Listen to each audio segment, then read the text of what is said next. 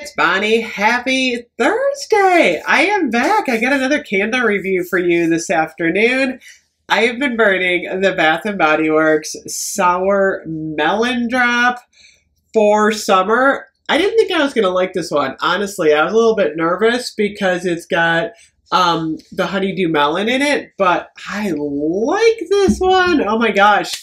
This is a little bit of a surprise for me in a couple of ways. We'll talk about that, but it's funny.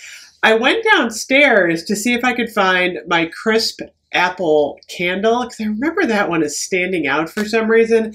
Can't find it. I did, however, find my banana coconut cream pie, banana cream pie, um, fall of 2018, I think. It's funny because I really thought, and I wanted to bring this up, I recently reviewed the chocolate banana mudslide the verdict's still out on this one. I have burned it again.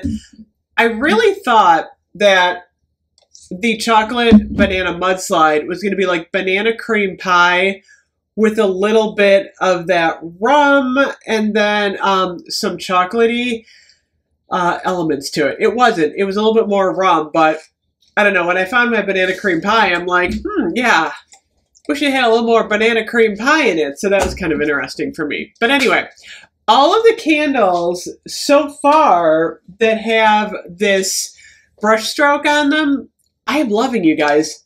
So far, every single one of them, I have absolutely loved. The chocolate chip cookie, um, the buttery popcorn, and now the sour melon drop. So this one looks so pretty outside. Oh my gosh, I took it outside. I actually did an Instagram story it is absolutely gorgeous. I love these green brush strokes. I wish we had more of these. I am just loving the design on these.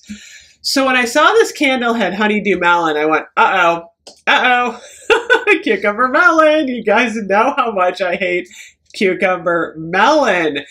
So I didn't expect to like it. I smelled it cold and I was like, I don't know about this one because it's got a little bit of apple in it. It's got a little bit of watermelon and then it's got the honeydew. You're like, hmm, I don't know. I passed it around the house. Everybody loved it. Everyone in my house loves this one cold. I was not sold on it cold. Lit it up. I like it. I really do. I wasn't sure I was going to like it. You know what's interesting about it?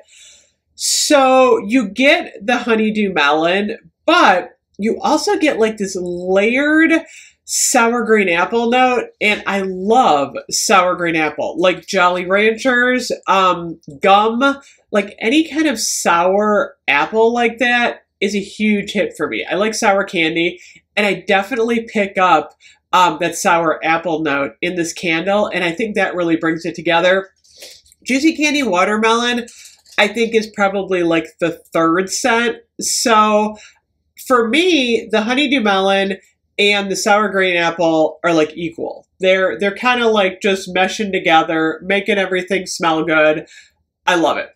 Then the juicy candied watermelon is like the base for me.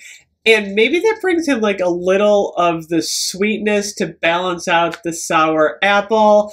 Um, but I'm not getting like honeydew melon for me It just smells gross on its own. I don't eat melon.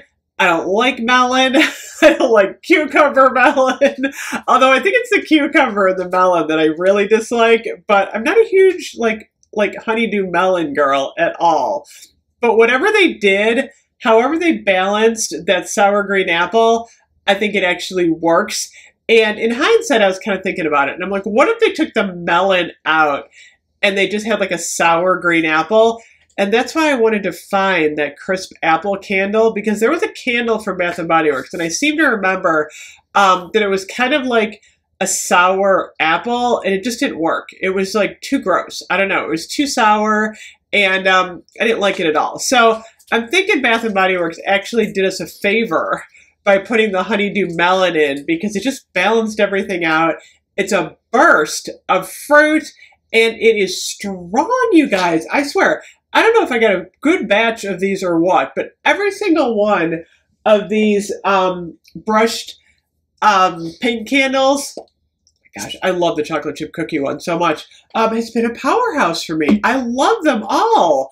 The last one I need to review uh, is the berry fruit punch.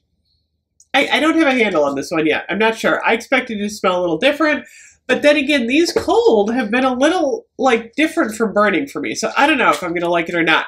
But I think if you like um, sour green apple, I think if you like fruit, I think if you like any sort of um, summery, tart, sweet, fruity scent, I think you're going to love this one. The jar is beautiful and it's a powerhouse of a scent. So, um, yeah, I'm on board with this one. I am loving this one more so than I expected. So, um, good one for Bath and Body Works. I think it's a totally original scent. I am super happy with that. So, anyway, I've got one more video for you guys later. I'm going to be talking about the Golden Ocean Pearl. Anyway, thank you so much for watching. I'll see you guys soon. Bye bye.